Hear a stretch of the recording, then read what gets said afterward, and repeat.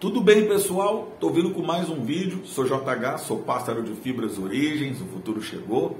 Hoje a gente vai falar um pouco para você dessa questão. Você tem dois trincaferros dentro de casa, um mais novo, o outro mais velho, e o mais velho começa a cantar, o mais novo fica cantando baixinho ou muitas vezes não canta. Como que a gente deve proceder nesse caso?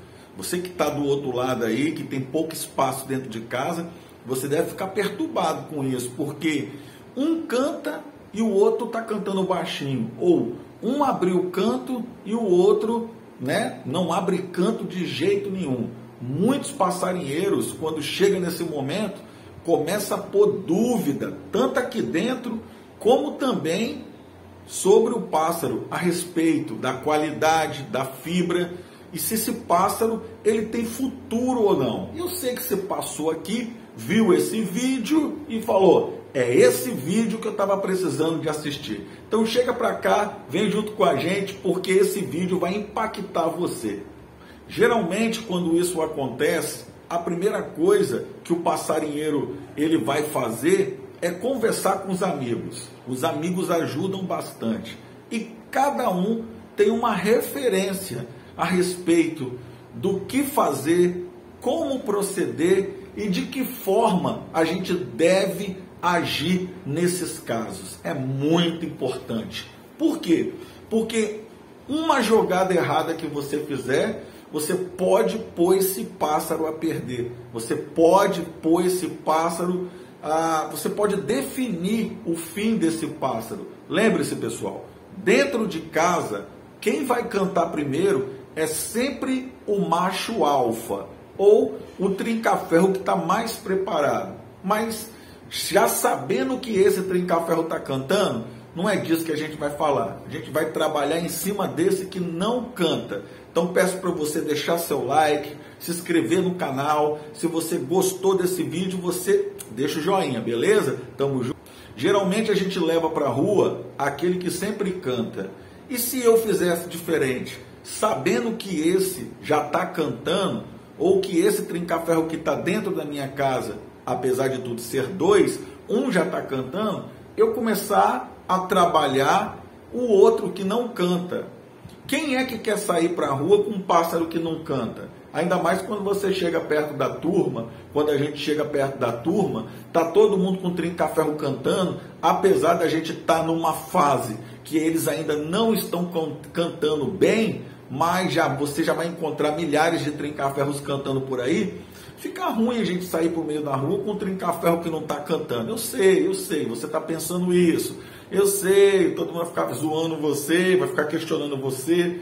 Mas olha, quando a gente bota opinião sobre a forma que a gente vai ter que trabalhar um pássaro, de que forma a gente quer fazer esse pássaro ele acionar para ele poder cantar, a primeira coisa que eu te falo é o seguinte: tira ele do ambiente que ele está, ou você manda para casa de uma mãe, ou você manda para casa de um irmão que você tem, contanto que você tenha contato. Isso é muito importante, pessoal. O contato é super importante. Vamos dizer que você já afastou, já tirou, já foi para casa de alguém, ou você tirou o que estava cantando e agora você está só com aquele que não cantava. Melhor coisa, colocar dentro de um voador. Não pode faltar grite mineral, tá? Que é areia para poder ajudar o pássaro a triturar a alimentação. Não pode faltar um medicamento tipo hidrovite, duas gotas durante 10 dias.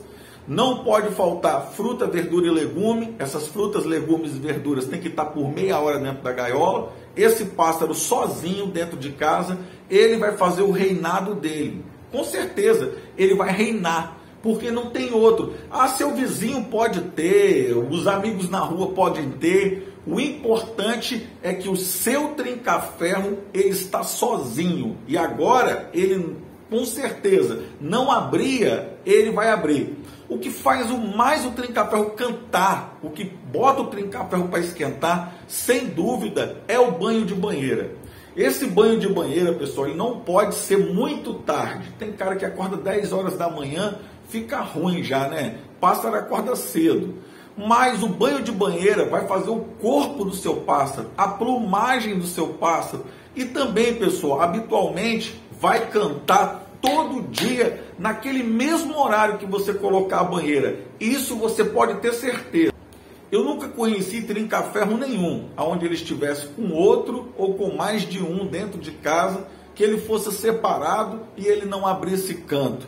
Até me lembrar de um caso de um amigo que me deu um pássaro eu peguei, passei o pássaro para frente e uma semana depois ele estava cantando bem na casa do cara. Eu tinha muito. O problema não era o trinca-ferro, o problema era eu. Se você está com dificuldade de abrir o seu trinca-ferro, tome essa atitude. Separe os pássaros. Às vezes um está muito bem, o outro não está vindo muito bem, e ele precisa de um espaço, ele precisa de um tempo. Ele precisa de uma tranquilidade para ele poder abrir. Você sabe que tem trinca-ferro que depois que ele abre, já era. Ninguém para ele.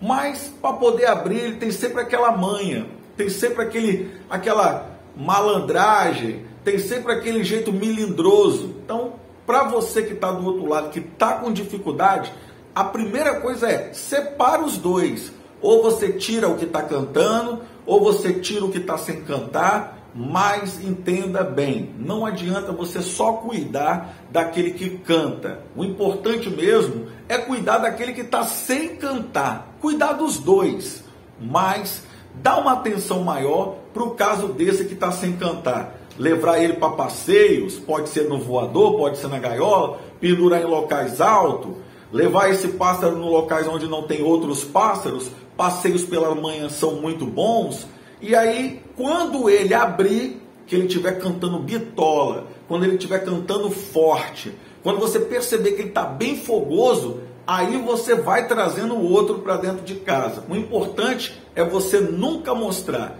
Se você gostou dessa dica, fica com a gente, se inscreve no canal, paciência é tudo.